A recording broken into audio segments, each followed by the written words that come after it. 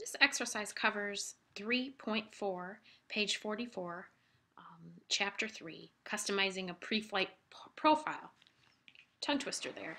So step one, um, we're going to use the document we used in um, 3.3 exercise, um, the previous page.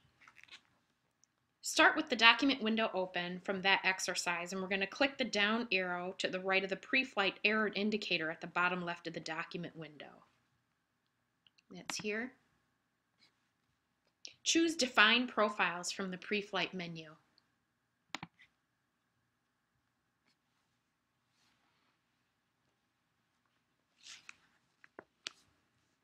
We're going to click the New Pre-Flight Profile button.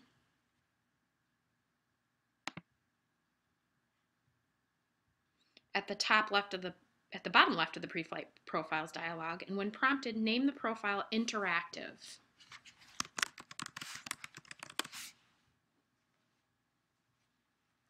Step three, expand the images and objects section of the panel by clicking the arrow at the left of the category name. So images and objects right here. We see all these little different categories. We're going to check the image resolution checkbox. That's the top one. Step four, enter 225 as the minimum image resolution for color and grayscale images and 600 for one bit image minimum resolution. So let's open that up. And again, 225 is the minimum image resolution. Oops. Remind me later. So 225 and 600 for the one bit image minimum resolution.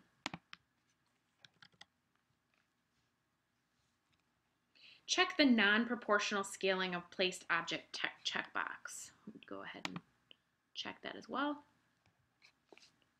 Scroll down to the text section of the dialog, which is over here. Let's open that one up. Keep the default settings and check the checkboxes for glyph missing. Here. And dynamic spelling detects errors. You may also choose to add a warning for minimum font size and non-proportional type scaling. That's up to you. I'll go ahead and do it anyway minimum type size, and non-proportional type scaling. Step six, click Save and then click OK to close the dialog. Go ahead and save it and then OK. Step seven, go to Window, Output, Pre-Flight. Now you may be used to packaging earlier in InDesign 1, Integrated Design 1, and um, this is a different way to access the pre-flight functions here in InDesign. So again, um, window, output, pre-flight.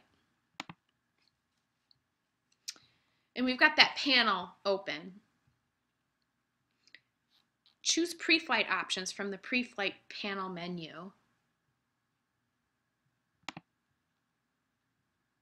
It's over on the upper right hand side. And then when the dialog opens, choose your saved profile from the working profile doc line, um, which was digital publishing. Oh no, we made it interactive. Sorry, I got confused there.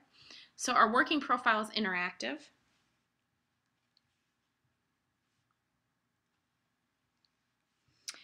And then we're going to go ahead and leave the remaining default settings and click OK to close the dialog box. Close the document without saving to complete this exercise.